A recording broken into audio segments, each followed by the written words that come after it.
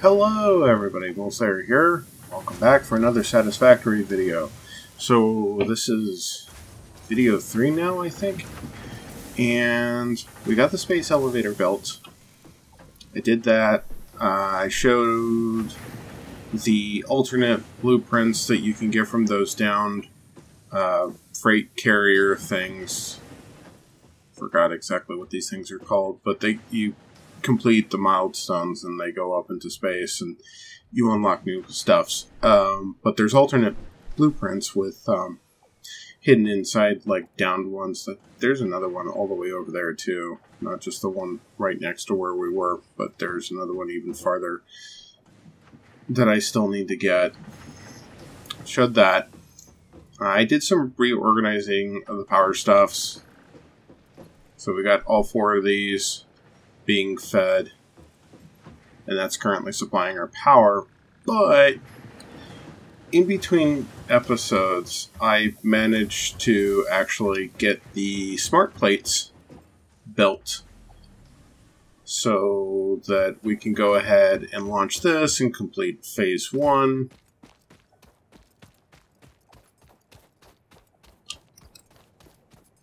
Let's go ahead and do that. Oh, they changed this up a little bit.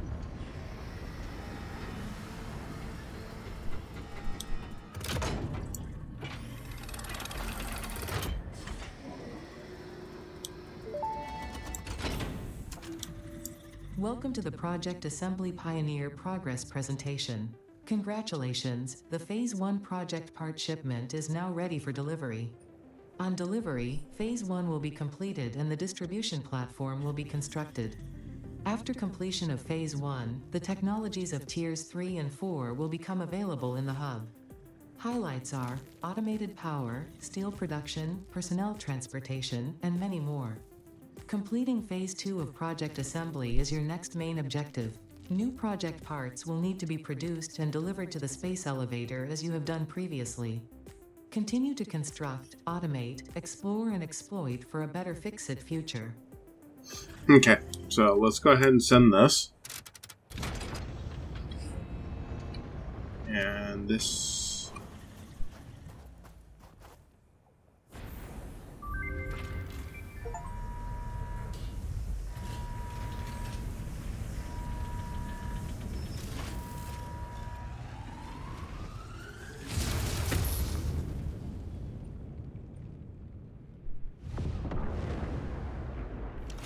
That's so cool that it, like, disperses the clouds and stuff. Phase 1 of Project Assembly completed. This is only the beginning of Project Assembly, the first step towards saving the day. You have performed adequately so far. Reminder not only is FICSIT saving humanity, it is saving all of Earth, including kittens and puppies. It is statistically likely that you appreciate the continued existence of kittens and or puppies. Continue the work for their sake. Continue the work for FICSIT. It is time to start the work on Phase 2 of Project Assembly. Okay. I love the new little, little voice lines that Ada has that just really kind of adds flavor to the game. if you don't care about humanity, think about the kittens and the puppies. Sold. Okay. So now we have Tier 3 and Tier 4. Now, Tier 4, we get Blueprints, Logistics 3, Advanced Steel Production, Expanded Power, Structure, Hypertubes. Um, so this is all pretty cool, but we want Tier 3 first, and we want to do the Coal Power. So we're going to select that.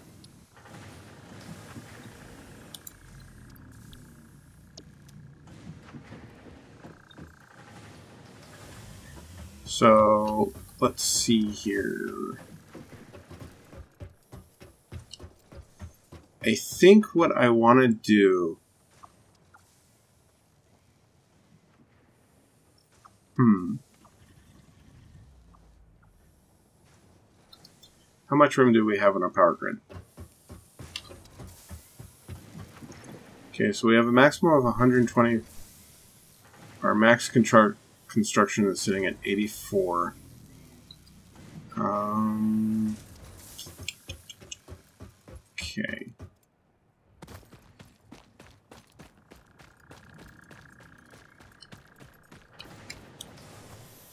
I think instead of that, what we're going to do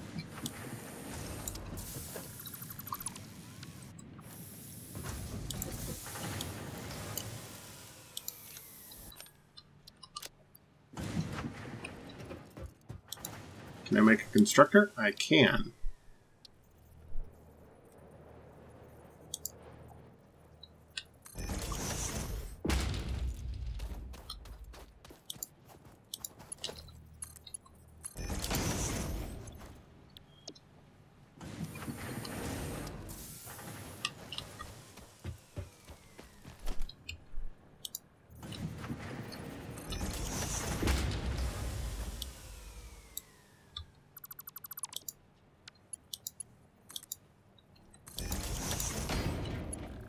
Okay, so now we can get the cables going. Foundations.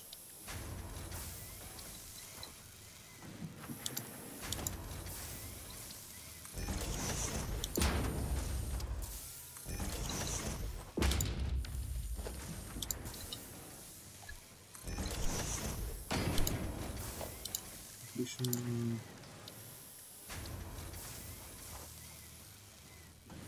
Oops, I need the iron Because that'll get the cables going so that I'm not having to sit there making those manually. And next, I should probably look into... Well, let's get rid of you for right now because we don't need that. Um, I may have to move that space elevator too.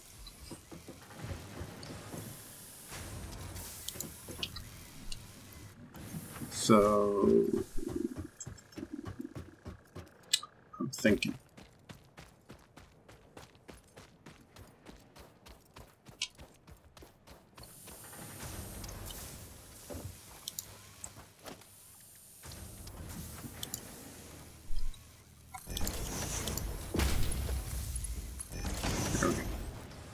now we got cables being made. That's good. Come back over here and I think I'm going to start working on both the rotors and the smart and the uh, not the smart plates the go get some more uh, cement so that I can expand this out a bit. And I'm look what I'm going to be looking into doing is two of the assemblers. One for rotors and one for the uh, reinforced plates. Now that's going to require a considerable amount of the bolts, so I might want to. Oh, I already had a bunch of those on me. Okay, well, whatever. Um, I'm going to need to ramp up bolt production.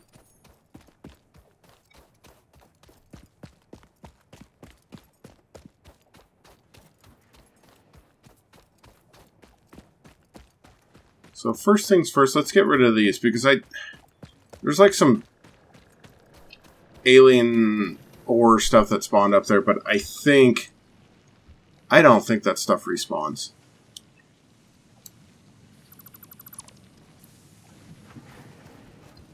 Oh, wait. Been playing on a friend's server map the weekend, uh, and I'm used to having things that I don't have in this world.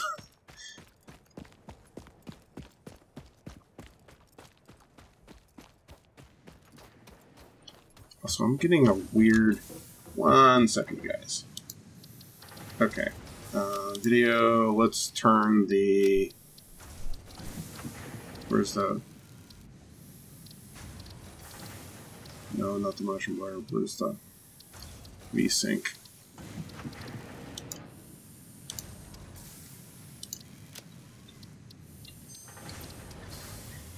Okay, good. That's not doing that anymore. Uh, there was a weird little like line that I was getting. I, I can't tell if it's in the video or not, but there was a little weird kind of distortion line that I was getting in the lo lower part of the screen, and that's usually because of uh, desync between the monitor and the game, like the computer. So hopefully VSync we'll fix that. Uh, what was I going to do? Oh, yeah, right. I was going to expand this. I need to get rid of this stuff. Because we got an iron ore patch that I'm going to need. I am probably going to have to undo this and redo all of this. Maybe.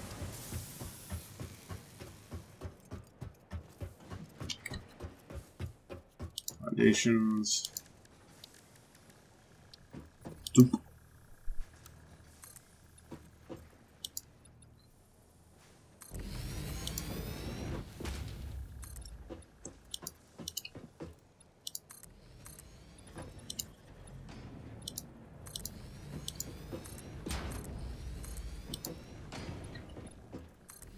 Should be enough room that way. However,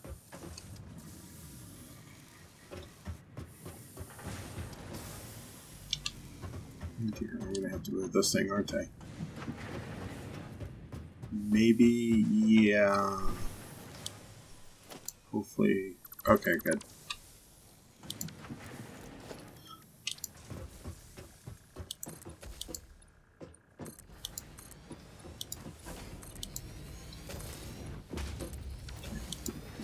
hub back here.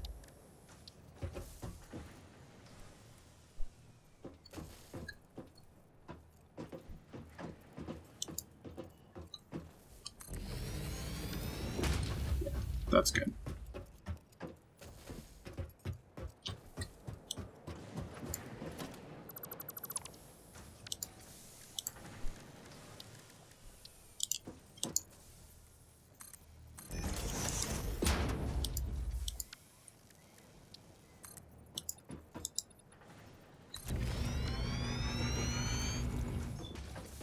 Because now what I can do is I can...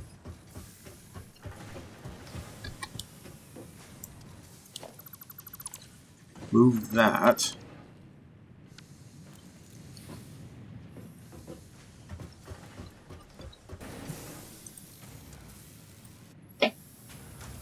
Okay, and sorry for that pause. It was just a shortcut for you guys, but um, it was actually like a day or so for me, and uh, here's the reason why. Uh, after I had unlocked the coal plants, I realized that there was still a significant amount that I needed to do uh, to really kind of balance this thing out. To get this is all automated now, and I unlocked some things. Oh, by the way, I unlocked the rebar gun like a while ago, and I didn't say anything about it. So, in case you're wondering what this thing in my hand is, thunk, it's a projectile launcher. So now dealing with the wildlife is a bit easier. So yay on that.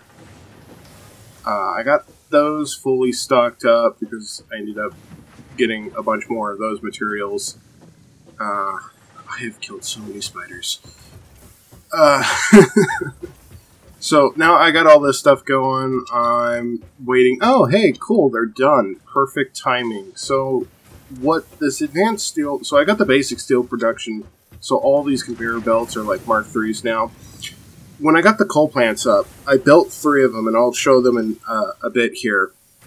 Uh, thinking that oh, I could have three at the start. Well, no, because the Mark II conveyors and the output for the Mark One mining things are so slow that they can't feed more than one generator at a time. So I had to upgrade a bunch of stuff to get it all three running. So now those three coal plants are running.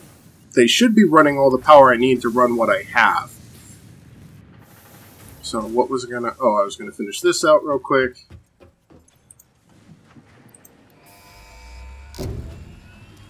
All right. Now the cool thing there is is that milestone reached. The Miner Mark II allows extraction of resources from nature to fix it at twice the speed of the Mark I model. Miners can be directly upgraded yep. to Mark II without removing the Mark I model, just like conveyor belts and other upgradable infrastructure. Unfortunately, setting up the production of advanced steel parts and project part number 3, automated wiring, will not be as easy. Every moment you delay reduces the chances of saving humanity. I will not show you the predictions, it would only demotivate you. Thank you, Ada. Anyway, so yeah, we got the Mark II miners. Uh, that's what I was hoping for. So now I gotta make two more of these guys.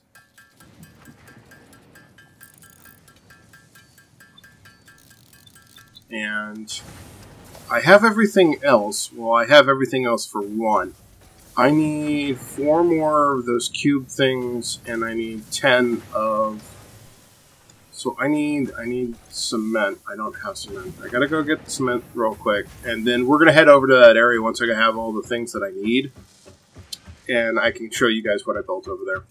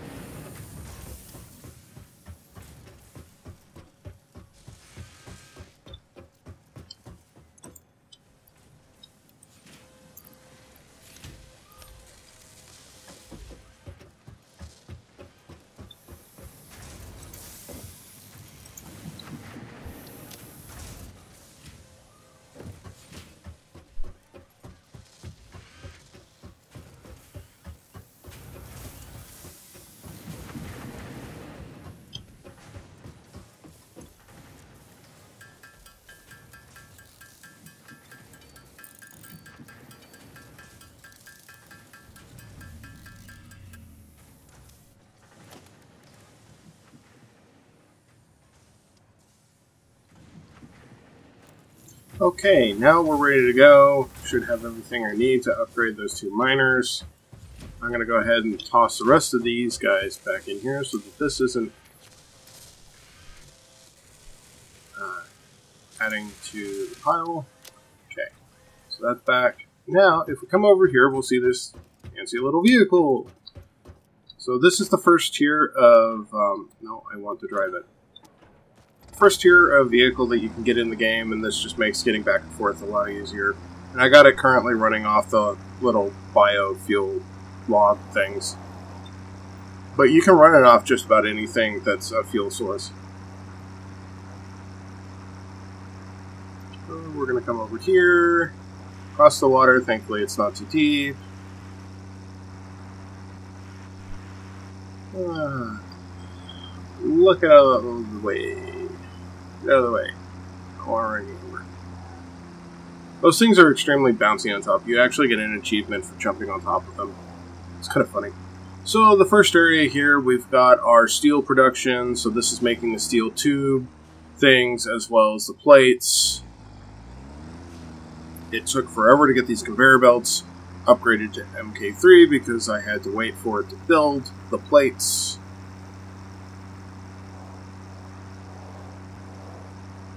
And we come down to this flat area here, we see that I have my two coal miners.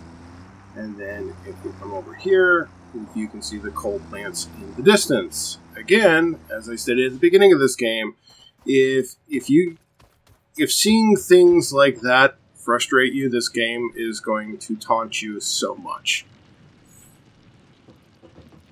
Because a lot of the a lot of the power or especially in the early game, a lot of the power sources are uh, green emission kind. And I know that some people don't like seeing that stuff. They get frustrated because they like they like seeing promotion of um, clean energy uh, sources. Okay, so that's going good. Uh,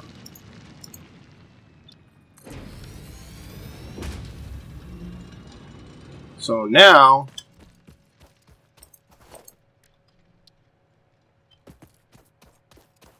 I had two miners. Where where did they go? There's one right there.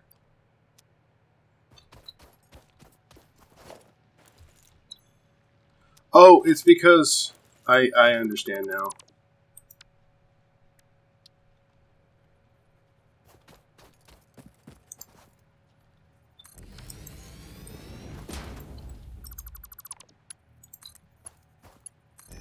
I had to have two in my inventory. That should have just upgraded.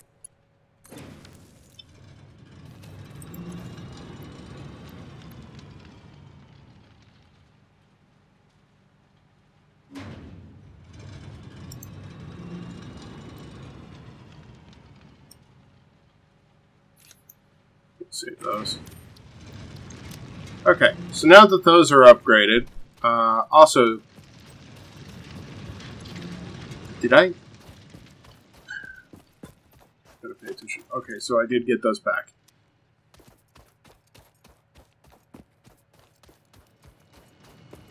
This one doesn't have a meter. Okay, so this thing, 60 per minute base, that's what I had it set to with the these guys. So now I can use those for other things. I actually might... Well, no, because it increases their water consumption. Uh, so basically how these coal gens work is that you obviously feed them coal, and then they suck water from a nearby water source, which is why I have them built out here. It's the easiest way to get water to them. And if you inspect them, you see that they burn fuel at 15 per minute. They also consume water at 50 per minute. It looks like, yeah. Basically, the simple math way of explaining this is that you have to have faster input than these things consume. Okay, so one of these things consumes 50. Each one of these guys puts out 120. Now, one of these guys will power two of these things, obviously.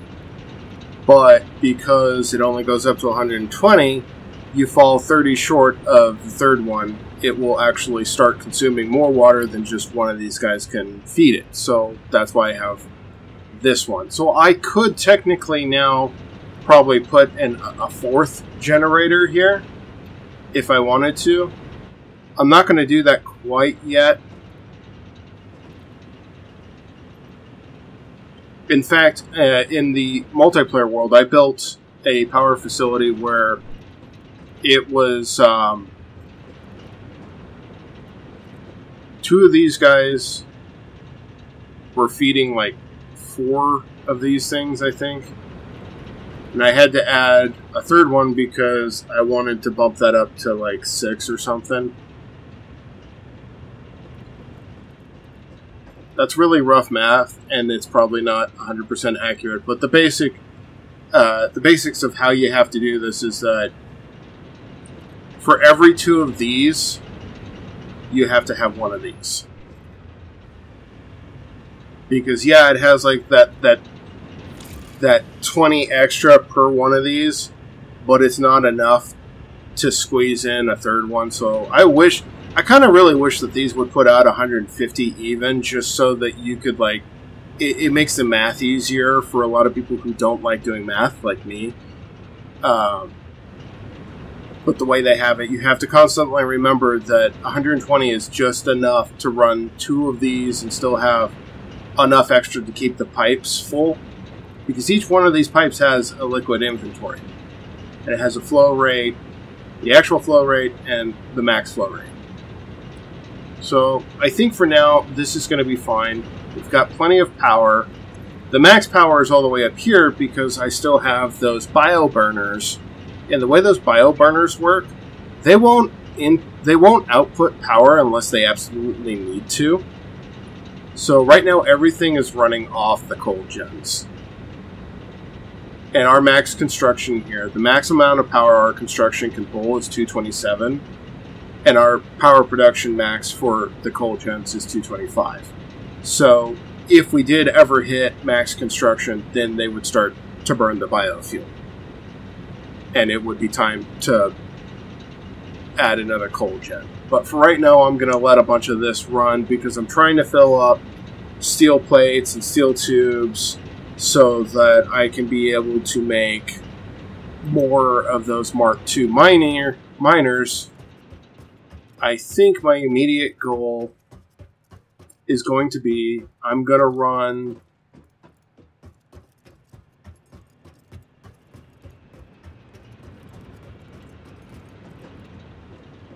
probably run another one of these over there. Because see here's the thing is like I don't want to run too many coal gens off just this one uh, coal node. Because each one of these guys, like I said, burns 15 uh, coal per minute, and at base, at its base value, this thing puts out 60. Now I could put the the overclock things in and pump it up, but these conveyor belts also only handle up to a maximum of what is it? Uh, 120 or 270 resources per minute. So they can handle a lot more than this uh, I could actually feed two coal guys into one conveyor line, and that would be plenty of coal. It's just there's a lot of conjiggering, and I'm trying to keep it simple so that I can come back and explain it to people and not have it be super confusing. trying to keep it simple. So eventually, I might start throwing more gens that way. I can't go over that 60 because that's how much that, that guy Otherwise, I'm going to have to start overclocking him, and I don't want to do that because that just consumes more power. These pumps consume 20, con, uh, consume 20 power. So each one of these gens only puts out 75. So you minus 20 from your total there. Okay, so you have 75. Obviously, 75 times 2 is 150 plus another 75 is where you where you're going to get that 225. Okay, but from that you have to minus 40 to run the pumps. That's a part that trips can uh, that can trip people up in this game is that they'll be like, "Oh yeah, they're putting out this much, but how come I'm not getting that much return?" Or it will seem like you're not getting that much return. Well, because the pumps. Because in order to keep those running, you have to have the pumps running. So you lose however to- however the total in it uh, is for the pumps that you're running. So that right there is 40. I lose 40 out of the 225 that I'm getting from that. So I have to make sure the rest of my production is set to compensate for that and not push super close to that 225. I have to stay 40, at least 40 below that to keep things running. Otherwise, I'm going to overload the power and things are going to shut down. And once these suckers shut down, you need another power source. Unless they have water in them. If they completely drain themselves of water, uh, it, it's a pain in the butt to get that restarted. So that's looking good for right now. I think I'm going to go ahead and wrap up the video here. I just wanted to show everything that I did off camera. And from this point on, because we got that phase two that we're going to start working towards once I get a few more things built up. That's going to take me a long while to get to that point. So I think from this point on, I'm gonna what I'm gonna start doing with this series is I'm gonna start doing highlights where a lot of it I will probably end up playing off camera just to kind of make sure that there's steady progress between videos. And then I'll come back occasionally with highlights of this is where I'm at now. Uh, because I know I've said in the past couple of videos, I don't like doing a lot off camera generally for, for these types of it, for gameplay videos because it feels disingenuous. But in the particular case of this game, so much, it takes so much time to get so many things uh, at the start of the game going that if I were to just come back and do, if I was to continue to come back and do incremental videos of, of the minuscule progress that I'm making, this series would be over hundred videos long, and I don't want that. I don't want to. I don't want hundred videos of boring on my channel. So we're probably just going to start doing highlights from here on out, where I'm going to play it off camera regardless and try and get as far as I can. And then when I get to a point where I feel like a, enough progress has been made, I can do a video and, and do a highlight of like where where I'm at with everything and all the cool, unique things that I've built since the last video. So I want to thank everybody for watching. Click that subscribe button and also the like button. And I will see everybody in the next video. Bye.